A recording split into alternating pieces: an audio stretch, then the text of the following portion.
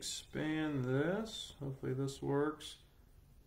Good evening, everybody. That's a lot better than last time. Um, at least it looks like it will be. Is this starting up? Starting. Check my tweet. I think we're good. We're good.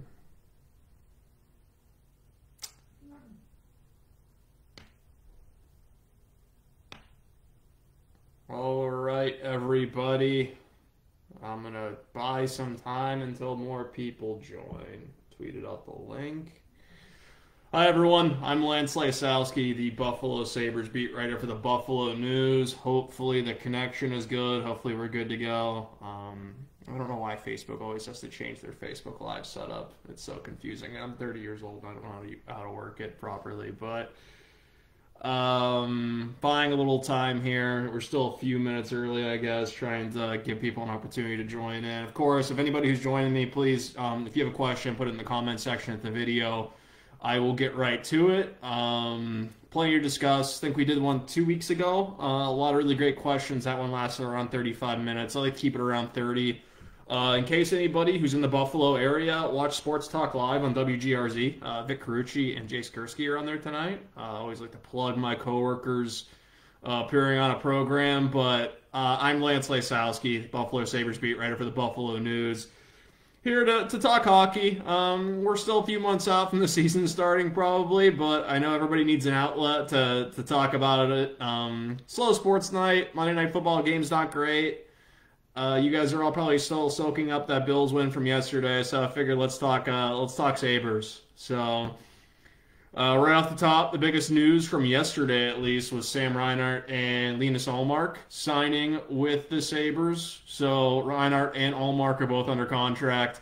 Makes things a little bit easier for Kevyn Adams. We know how much cap space is available. Victor Olofsson is the next guy who needs signed. Casey Mittelstadt still isn't under contract. So some housekeeping items for Kevyn Adams uh, to take care of over the next few weeks. I don't know. I'll, I'll answer your questions. Uh, again, for those, for those of us who rejoined me a little bit late, I'm Lance Lysowski, Sabres beat writer for the Buffalo News. So here to answer all of your questions. Uh, always good to talk to you guys. Thanks for joining me on a Monday night. Thought figured slow sports day, no World Series, bad Monday night game. So let's talk hockey. So with Reinhart and Ullmark under contract, I'm going to get into it. Uh, as soon as you guys start to to, to ask some questions, we'll switch over to the the Q and A side of things. That's always a lot better than me just talking. So if you have anything on your mind about this team, just put it in the comments section. I can see it on the left side here. Um, makes things a little bit easier to uh, yeah to answer your questions. This is what this is all about. I want to talk to you guys. I want to hear from you guys. Uh, anything about this team, hockey, the league, whatever's on your mind, I'll answer it as long as you know to the best of my ability. So there we go. We got some questions coming in. So um, I'll, I'll just go up to the top off the top, and I'll I'll talk about what I think is on everybody's mind is whether or not the Sabres are going to make a move now that they have Reinhart and Ullmark under contract. So right now, as things stand, the cap space is around six million dollars, uh, right around there, to sign Victor Olofsson. I don't think he's going to command all of that, but you also need to take into account the cap overage that the Sabres will probably going to pay. Uh, either half of, or maybe they bump it back to next year. We haven't gotten an answer yet on Kevyn Adams for that. It was 1.275 million, and obviously this team's going to want some cap space to make a move at the deadline. Dylan Cozens is not accounted for on that total, so you're going to have to add him to the mix. And we'll see how rosters work out for this season. If it's a truncated schedule, are they going to have expanded rosters? It's something to keep in mind. But, you know, generally, I'm sure people are going to have a question about this. I don't really see this team making a big trade in the next few weeks. Uh, we there's still time left. Remember, the season's probably not going to start until, in my opinion, I don't think it's going to start until February, and that's best case scenario at this point. So there are it's not like the roster is set right now. There are time to make there is time to make moves. I don't think the Sabres want to handcuff themselves too early. And in case you missed it, uh, some of the top free agent forwards are still unsigned. Like Mike Hoffman hasn't signed anywhere yet. So there's still some pieces on the chessboard um, that need to that are in play. Maybe they add a depth forward. Maybe they go ahead and acquire a goalie. I don't see that happening now that they have six million dollars tied up in Linus Ullmark and Carter Hutton, but something else to take into account here. After they finish arbitration with Victor Olofsson, this team is going to have a 24 hour buyout window. So they do have the option of exercising that. I don't see it happening. But uh, who really knows the new GM in play? I, I wouldn't buy out Kyle Okposo. Maybe they do that. Maybe Carter Hutton's an option. But if you're buying out Carter Hutton, you better have a good goalie uh, to rely on in in the event you get rid of one because you can't rely on Jonas Johansson's on an NHL goalie at this point. I don't know if he's going to develop into one. Ukko-Pekka Luukkonen is not ready yet. So we'll see how that goes. Uh, Chuck, Chuck, thanks for joining me. Um, always appreciate the participation. Uh, Chuck, how do you feel about the draft, specifically the Jack Quinn selection? I really liked the Sabres draft. They don't have quantity. Uh, trading up to pick Peterka in the second round is part of that. They also traded picks for Colin Miller. Well, Colin Miller's the big one. The Jeff Skinner trade as well. So what I think only five total selections, but I really like the top three in particular. I think you know Matteo Costantini. I think a lot of people will think it's just a, a, homer pick because he was a Buffalo Junior Sabre, but he's having a really nice start to the, to the season in the British Columbia Hockey League. I've heard a lot of good things about him. Peterka should have been a first round pick, so that's an excellent. It addresses an area of need. It's a goal scorer. This team needs more goal scorers. And I know that the fan base wanted Marco Rossi in the first round, but Jack Quinn was the top goal scorer. He was the top right wing. Both of those are areas of need for this team. And everybody I keep speaking to about Jack Quinn, you know, it's not like this kid was only scoring with, you know, with a shot in the right circle. He was scoring goals in a number of ways, which makes you really, really like that he's rounded out his game. He's getting to the net. He's scoring in, in those difficult areas, played in a lot of different situations. Uh, it does give you a little cause for concern that he he had one really good year in the Ontario Hockey League. But let's see how his development goes moving forward. You know, he's probably going to be back in Ottawa uh, for next season. He's going to play for Canada at the World Junior Championships. I don't see Jack Quinn as being an option for the Sabres, although people close to him, at least the ones that I've spoken to, seem to believe that he's physically ready. Uh, it's physical. It's different to be physically ready to play one NHL game, but he's gonna have to play 82 in a truncated schedule. I think it's best for his development, and the Sabres have already given themselves a lot of really good options on the wing, you know, in the forward group at this point. So I don't think they necessarily need him. But Chuck, to answer your question briefly, really good pick. I, I like Peterka as well. Uh, credit to Kevyn Adams and his staff for being aggressive. They saw that Peterka was still available. Um, Again, talented winger, goal scorer. Love the upside. He's going to be playing in Germany's top league, you know, barring coronavirus. Um, their league over there isn't going to start until late December at the earliest. But right now he's playing games in Austria. Nice little uh, consolation there, getting some games in against guys that are a lot older. That's a, a very important piece of this. Uh, Denver, thanks for joining me, Denver. Good to see you again. Uh, thank you again, everybody, for, for the questions. Really good to have you.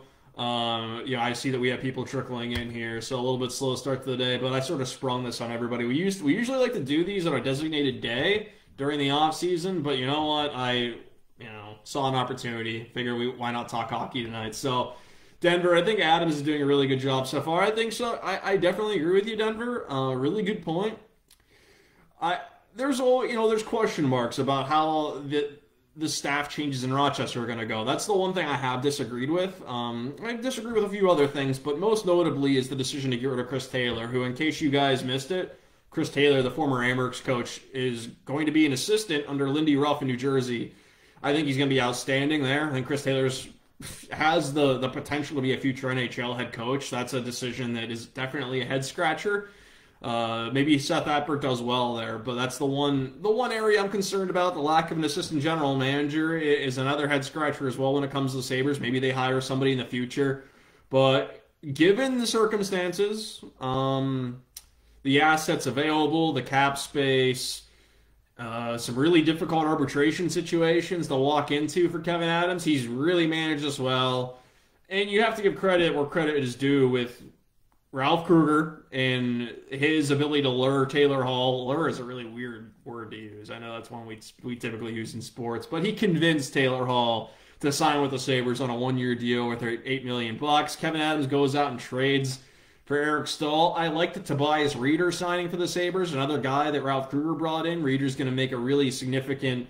He's going to be a significant upgrade on that penalty kill, in my opinion, which is an area of need for the Sabres. Remember, if this team just figured out their their special teams last year. They're a much better group. Um, special teams really and were really an Achilles heel. The big question now, Denver, is goaltending. Is Kevyn Adams? Kevyn Adams is gambling on Linus Ullmark and Carter Hutton as of right now. Maybe there's another move to be made once they figure out the Victor Olofsson situation, but that's my big question.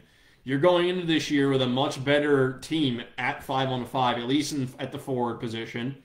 Uh, much better depth at forward, um, but and it's a big but. Are you going to be able to to receive enough saves every night to to be a contender in the Eastern Conference? It's not going to be easy. I don't know necessarily if the Atlantic Division is going to be as strong as we've seen in recent memory. That's again if we don't have realignment. But hypothetically, I don't like the Maple Leafs off season. Um, Tampa is going to have to do something at some point to be cap compliant.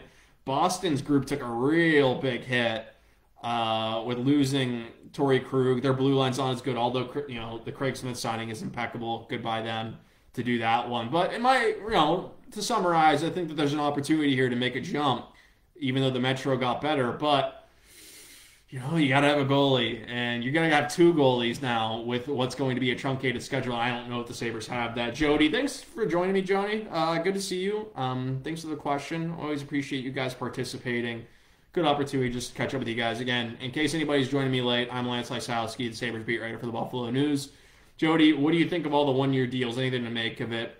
Uh, Jody, with with Sam Reinhart wasn't going to want to sign long term this offseason anyway. Remember, it's a flat cap. It's only eighty one point five million dollars, and when you're considering what a long term extension is going to be, we usually look at it as percentage of the salary cap. So for Sam, that's eight percent, roughly seven percent. So you know his average annual value is only going to be six point five million at that rate. Well, if he has another big year, which he's in line to do especially if he's playing on that top line with with Jack and and and Taylor Hall. He's in for an even bigger pay grade, you know, next off season, or you know, if he reaches unrestricted free agency in 2022. I think this is more on Sam Reinhart wanting to to wait this out than maybe it is necessarily for the Buffalo Sabres. Uh, which is good a good move for by, by both sides. If Sam was going to sign long term this offseason, he was going to set the price very high, which he should, probably in the $7 million range and you're not going to budge because you have all the leverage. He could take advantage of arbitration each of the next two off seasons. And I think the Sabres right now, they're waiting to see what's going to happen with Taylor Hall. If he has a big year, they're absolutely going to try to sign him long term. And that's going to be very expensive. It's going to really hinder the Sabres' ability to sign everybody. You can't bring everybody back. And that Rasmus Dahlin extension is is sort of looming over the Sabres at a certain point. He's only a restricted free agent next offseason, but he's somebody you're going to want to get under contract because if you're not careful, he's only going to get more expensive. Um, with, you know, if he reaches the ceiling that you're expecting. And of course, the Sabres signed Eakin to a two-year deal in unrestricted free agency, so they can expose him to the expansion draft. A very smart move. You need you need some of those two-year deals to expose, you know, to have some people who are eligible to be picked by Seattle. Uh, the Rieder signing was league minimum, set seven hundred thousand. Um, Linus Ullmark, I think again, that's probably. I think Linus Ullmark, the decision to go one year with him was a Sabres decision. They want to see what he's capable of. You're not going to commit to Ullmark beyond this season until he shows you he can stay healthy and he's a starting goalie. You're not going to pay starting goalie price for somebody who could potentially regress, who might not be good enough on the penalty kill remember, as much as Ullmark's save percentage at 5 on 5 was encouraging, he also benefited from facing poorer shot quality. Know, when Victor Olofsson went down with that injury back in, what was it, January at this point? Um, he, the, Ralph Krueger made a concerted effort to have his defensive zone coverage keep teams to the perimeter. I mean, you want to do that a lot of times, but I think there was more of a, a focus on it with Olofsson out because they knew that they weren't going to score enough goals. Now, facing sh- more shots in the perimeter, Ullmark was it kind of juiced his numbers a little bit in terms of save percentage. So I think that when we look at Ullmark, we need to remember that he wasn't facing the same chances that Carter Hutton was the previous season. That's a big piece of this. So until Linus Ullmark shows maybe a more a larger body of work, you're not going to want to commit to, to more than one year. Now I think that Victor Olofsson is somebody that the Sabres will want to sign beyond this season. So that's something to look out for in the coming weeks. I think that's that's going to be the delay. The Sabres have been talking to his agent since July. There wasn't a lot of traction when I spoke to sources a week and a half ago, two weeks ago at this point.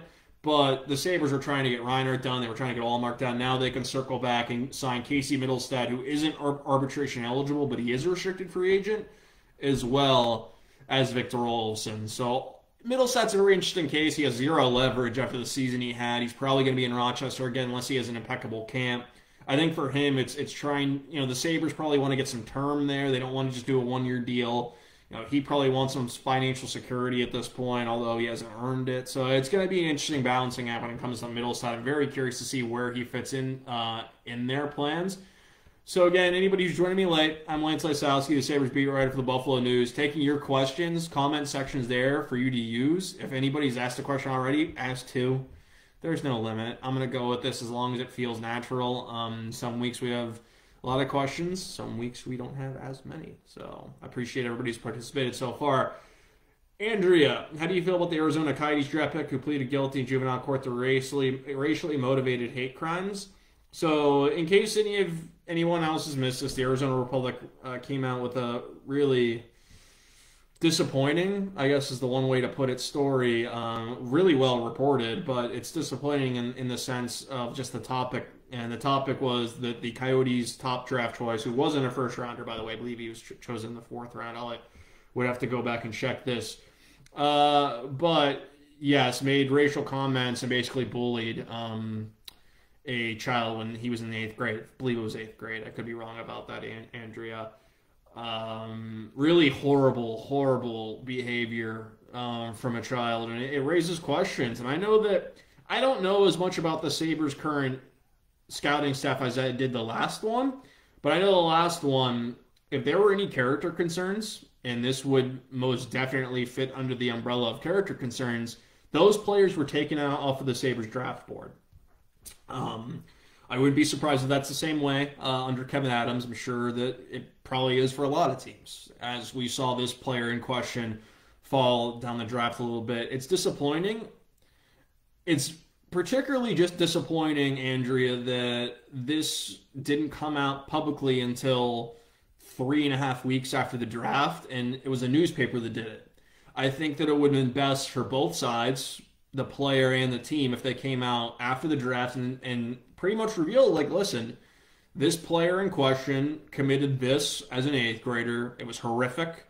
Um, here are the steps that he's taken over the past several you know five six years to address that behavior. Here's how he's moving forward. Has he reconciled with the family that you know he obviously impacted in a significant way? Um, bullying doesn't just affect a child in the moment. It can affect them for years so I think that the league needs to, needs to take a look at this. I think that every team in their scouting departments need to take a look at this. The Coyotes, who were a disaster in, in some ways, at least that's what I've heard before they made these latest changes, it raises questions. Um, be transparent about these sort of things. You know, I'm all for second chances, but the way this was handled by the Coyotes, the athlete in question, and even the league to a certain extent, it's disappointing, and especially for a league that needs to be much better in terms of equality, being more accepting. And it doesn't sound like this player has really reconciled with the person that he bullied. I mean, come on, that's horrible. It's horrible. So, if anybody hasn't read it, I would encourage you to go check out the story in the Arizona Republic. Uh, they do very quality journalism down there. They absolutely do. So, something to go read. Um, it's a problem, and again, we've seen these sort of instances happen in drafts with other other leagues, other organizations. We saw what happened with Jake, what Jake Fromm was, it with the, the Bills chose. So, um, yeah, that's all I really have to say about Andrea. It's it's horrific and disappointing, and I I hope the teams sort of open their eyes to what needs to happen in the future. They knew about this. It's not that the Cody the Coyotes are surprised. I think the transparency and and reconciliation is, is a huge part of this. You can't just say you improved and not go to the people you impacted and try to make a difference in their lives after you've obviously said and performed a lot of heinous acts uh, at that point. So, thank you for the question, Andrea. Uh, Garrett, uh, do you see any way the Sabres re-sign Hall if everything goes well Buffalo this season? Garrett, I do. Uh, the big the big problem here, though, is that Garrett. Let's say let's let's approach this from a best case scenario standpoint. Hall loves Buffalo. He has a huge season playing with Jack Eichel. The Sabres make the playoffs, uh, which I believe this team has a potential to do after the changes they made, although I think they shouldn't be done. The price tag isn't going to be $8 million on a long term extension. I don't think he's going to give the Sabres a hometown discount. I just really don't. But hey, I didn't think he would sign here in the first place, so I've been wrong before, and a lot of reporters have been. Let's just say hypothetically he does, and the price tag is nine to ten million dollars a year on a long-term deal.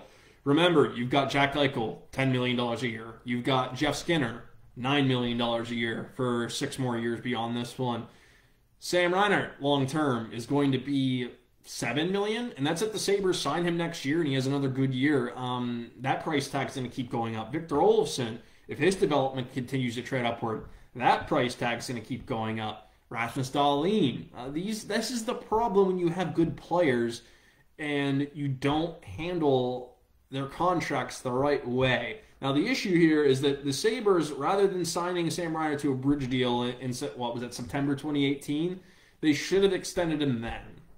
They should have. Now I know it was sort of still a new GM. Jason Botterill wanted to probably see more out of Sam Reinhart, and, but I'm sorry. Uh, right now you're in a really tough spot with Sam and Taylor Hall. You can't afford everybody the Rasmus Dahlin contract. I don't think Henri Jokiharju is ever going to be a very pricey player based on probably the limited point production. I just don't think he's going to be that kind of guy, although he's going to be solid.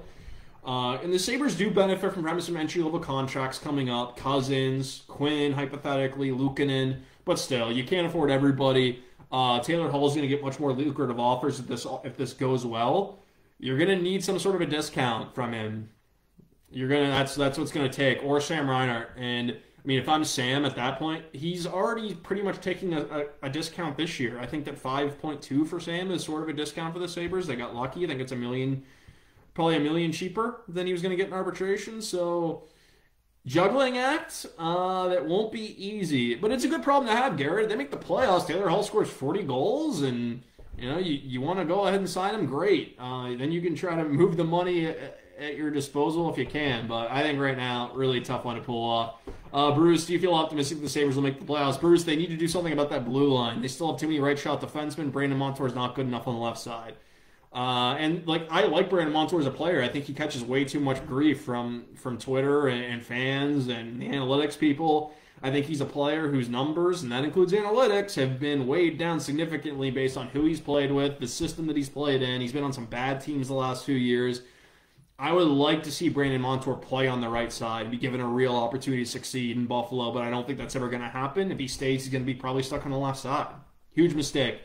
For me, I'm trading one of those defensemen based on the types of demon that they have, the contracts, it probably makes the most sense to trade Montour. Uh, Miller is under contract for two more years, so you can expose him in the, the expansion draft because they're going to want to protect Jokiharju. They're not going to want to lose a player that's that young with that much upside. And goaltending. Uh, goaltending's a big one, Bruce. I, I, like Carter Hutton. I think Carter Hutton. I'm.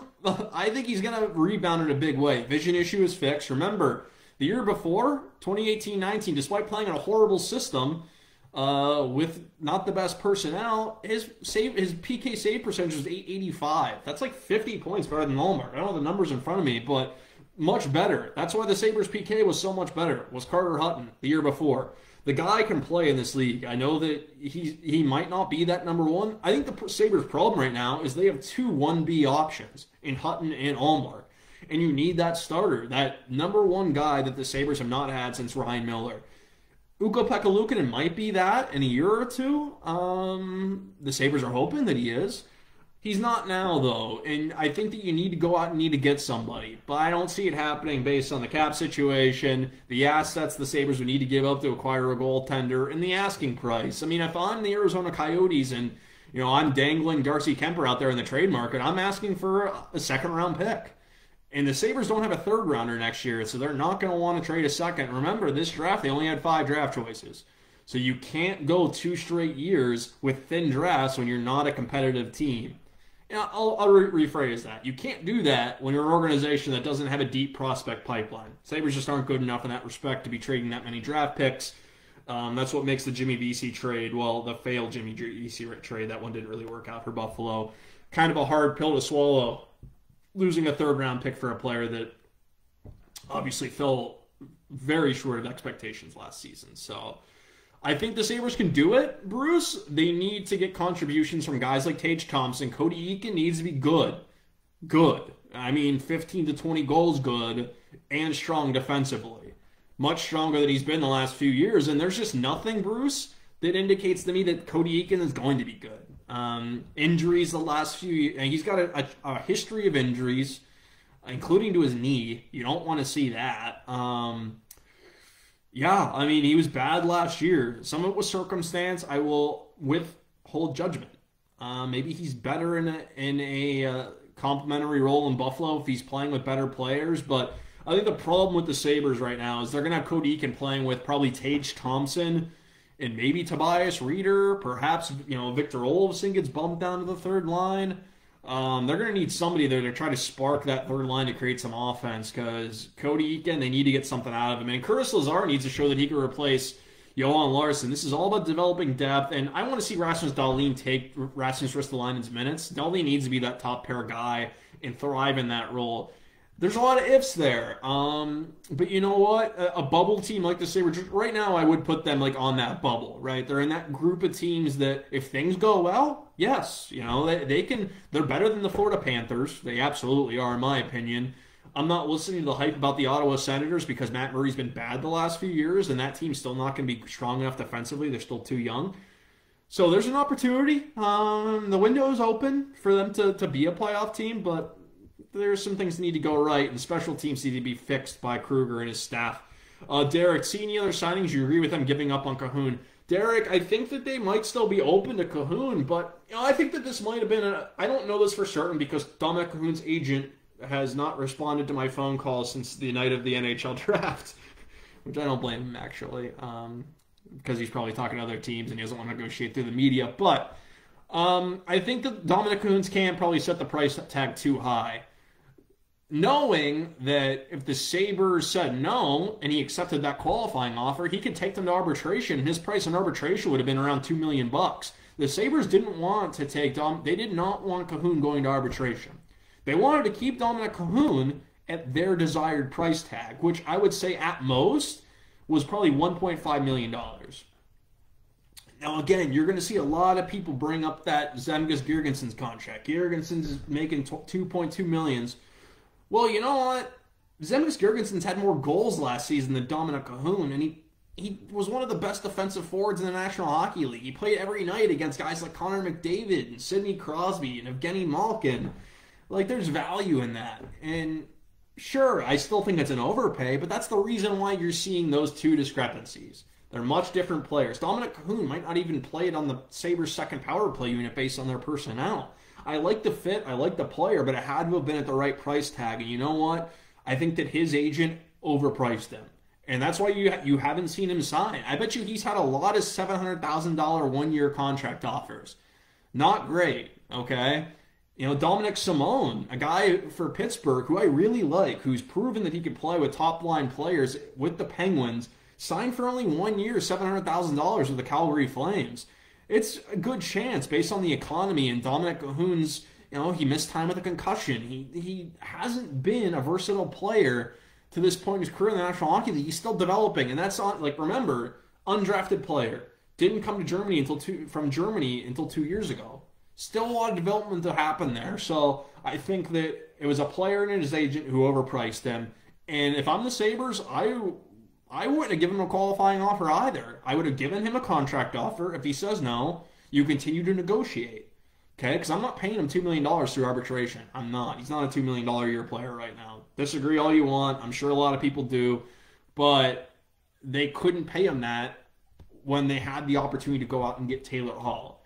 Now, if it's me, I'm circling back to Dominic Kahun and I'm saying, listen, here's an offer one year, $1.25 million. It's still a, a raise from what you received last year. Take it or leave it. And I think he would take it at this point because I know how much he liked Buffalo. He loves the system. He's a perfect fit for it. And the Sabres do need some insurance at forward. I know they're penciling in Tage Thompson to be this guy for them. Well, Tage Thompson's played one NHL game since March 2019.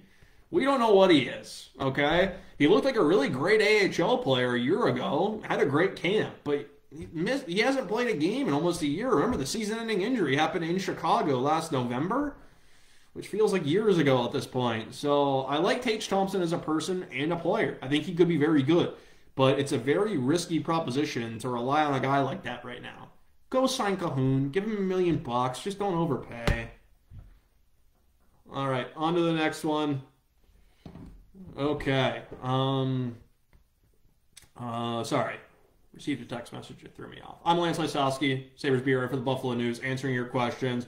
We keep this going, guys. If you have more questions, I only got two left here. So as of right now, I'm going to answer those, and, and we're going to close it out for the night. So I do appreciate everybody who has participated. It's been a blast. It always is. Okay, Andrea, that's good to know about the Sabres draft selection criteria. I would have been very upset the Sabres drafted him. Andrea, the one thing that I kept hearing, I will share this because uh, this is an interesting point that I've heard. There were some people who thought the Sabres' previous regime was too strict in their scouting model. If players didn't match specific criteria and character was at the top of the list, they were immediately removed the, from the Sabres draft board. Now, one of those was work ethic. It was giving up on plays. It was a lack of effort. That is why the Sabres removed Arthur Kaliyev, the, Los Angeles Kings second round pick who had a good year in the OHL last year, from their draft board. A lack of effort. It wasn't character concerns, it was giving up on plays. There were some real questions about the kid's work ethic. And a lot of teams also had those same questions. That's why he fell in the draft to where he did. Now, you can draft a player like that if you feel like there's good structure and the team is going to, I think that really where the Sabres were with a guy like Kaliyev, and they've done this over the past, this is just one example, not picking on Arthur Kaliyev because I think he's going to be a good player, is that they just liked Ryan Johnson, uh, they just liked other players ahead of Kaliyev at that point, just given the question there, you know. I don't, Kaliyev I don't think was removed from their draft board entirely, but he was knocked down significantly um, for the the work ethic piece. Um, the character one is, from what I was told, under Botterill, if there were any character concerns, and this is something that Jason picked up in Pittsburgh, you are off the draft board. And you know what? I absolutely agree with it. That's the one the one question I would have. I believe in second chances, but I'm sorry. I, I think you got to be you got to be cautious there, um, especially when you're building an organization, you're trying to create a culture in the American Hockey League with your pros, you know, with your development staff. And these are future Sabres. I mean, that's, you know, you keep hearing that. It's cliche, but you, know, you want to get the next wave of players. And if you have serious concerns, um, you want to, to address those. So, uh, okay, Chuck, uh, what one player could be the biggest reason they improved enough to make the playoffs? Ooh, Chuck, I like this question. Uh, Chuck, I'm going to go with Rasmus Dahlin. Uh, and I'm saying this because if he takes that top line role, which Krueger better give Dahlin an opportunity to do that, and I think Dahlin has all of the physical tools to do it right now. Wow, like if Dahlin becomes a better player at five on five and not just a power play ace, wow, this team is dynamic. You know, and if you look at Dahlin's impacts when he's on the ice with Jack Eichel. You know, when you can trust Dahlin to be in that role, this team is so much better. He lifts every player he's on the ice with. That's why I know a lot of people around the league want to talk about Quinn Hughes or Cale Makar, but they don't make their teammates better the way that Rasmus Dahlin has through his first two seasons. Now, of course, there are also other answers to this question. If Linus Ullmark becomes that number one guy, absolutely. If he be, if his PK save percentage is in the 880 range to 890, this team's fantastic. Like this team is, is going to make the playoffs. You need that guy to. You need your goaltender to take that next step. But I think with Dahlin, how he can make players better, how he can elevate that top power play unit to potentially be among the best in the league. Now it is important to remember that Taylor Hall is not a power play ace by any means. Honestly, I would not be surprised if he ends up on that second unit, perhaps, because I, I think that Krueger likes that dynamic of that top group. But you know, I think that this team, if they get that top power play rolling and they're in the top 10 in the league in, in, in power play, if Dahlin can be that guy in a 5 on 5 that lifts everybody up and he's playing 24 minutes a night, wow. I mean, this group could be, could, could be, I mean, they could be in the mix. They, they could absolutely be in the mix, in my opinion. Okay, um, thank you for the question, Chuck. That was a great one. Jody, have you heard anything about an assistant general manager? Jody, the Sabres, like a, lot of other teams. You saw Pittsburgh today fire their assistant GM, and they're not going to hire a full time one for a while. Organizations are waiting to see what's going to happen with the American Hockey League. It's a big piece of this. They're also waiting to see what's going to happen with the National Hockey League. Um, if you're not having fans in the seats, you're not going to want to commit $250,000 of salary to an assistant GM right now. That's why you've seen a lot of guys who have been let go with other teams, and this includes Jason Botterill, Randy Sexton, and Steve Greeley. I was told all three of those have received interest from other organizations. Um, I've, I've heard specific teams linked. Well, one I've heard specific teams linked to Greeley and Sexton in particular. But teams are waiting, right? You're waiting to see what your revenue is going to look like. You know, there's no reason to hire somebody to run your American Hockey League organization when roster construction isn't really a question right now. A lot of AHL veterans haven't been signed yet. I'm, I'm going to just name off a few from the the Amerks last year, like John Gilmour's unsigned, Remi Elie's unsigned, uh, Andrew Hammond's unsigned. Those kind of guys who you fill out your AHL rosters with, you don't need to go ahead and sign them. There's no rush. So you wait. I think you're going to see assistant GMs. I think you're going to see hockey operations staff really start to fill out maybe as we get in December, as long as everything goes according to plan in terms of you know the season getting underway. But yes, I have been told the Sabres have spoken about this internally. Their plan is not to keep the staff, their hockey operations staff, as small as it is right now. Now, it's not going to be as big as it was under Jason Botterill, but it's it's not going to be as small. Um, I will caution them though; they need to hire more scouts. You can't just not have scouts in Sweden and, and Finland, uh, especially when the, there's games going on there. It's in, in crazy to me that they're relying on video scouting right now when it comes to those players it's egregious. Um, it's one thing that if next time Kevyn Adams speaks, it's something that needs to be addressed. They need to hire a scout over there. Um, maybe they have hired one. I haven't heard anything um, from people I've spoken to. Um, they have hired one scout in the past month or so, but he's based in Chicago, which is basically where Jer- Jeremiah Crow's territory used to be. Jeremiah Crow is based in Chicago, used to cover those those areas. Okay, Will, uh, who do you think it's likely going to be picked from Seattle? Chances are Okposo, we throw them a sweetener. Uh, you can, but you would need Okposo to waive his no movement clause, right? He has one. So, um, right now you're looking at a guy like Zemgus Girgensons. You're looking at like Cody Eakin, uh, Colin Miller. Uh, nobody's going to want to pick Jonas Johansson. That's the one goalie the Sabres could probably expose at that point. So it's not going to be a big time player. Will usually isn't. Now, the one thing with Okposo to keep an eye on in the coming weeks is the second buyout window. It's only 24 hours long. It's going to occur after Olofsson is under contract. Is he an option there? You do save money, um, but I do know how much Ralph Krueger loves Kyle Okposo. Um, Okposo is a character guy. He's a guy that I know that a lot of fans don't care about this nowadays because you know the guy isn't playing up to that contract. I'm not going to really fault him at this point. It's concussions. It's been a lot of things that have gone Kyle against Kyle Okposo but he's really important in that dressing room. He really is. Um, he has been very important to Jack Eichel. Now you can probably afford to maybe lose some leadership um, with the additions of guy like Eric Staal and uh, you know Cody Eakin and Taylor Hall, you know to a certain extent. Um, but you still need guys who are, are, character pieces who who are really good with young players. And Kyle Okposo is. He's really good with young players uh, a heck of a, a, heck of a guy to have in that room, and he became an effective fourth line player. And I think there's more. I think there's more offense there. Um, I think he needs to get his shot back. That's something that I think he lost when he missed time with the concussions over those couple of years. Because if he gets the shot back, then you can sort of utilize him in the power play because you don't need as much speed. He can really adapt a little bit on that second power play unit.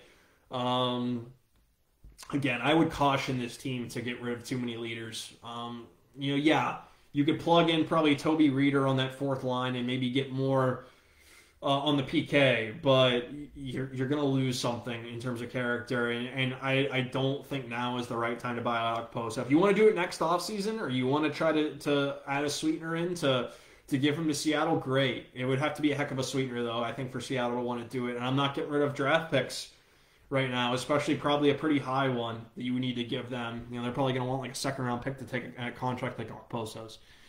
Uh, Dave.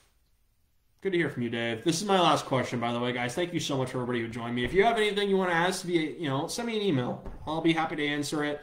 For anybody who's who's submitted one for a mailbag and hasn't made it in, I'm sorry. Like we have limited space for those. Sometimes there's a lot of overlap.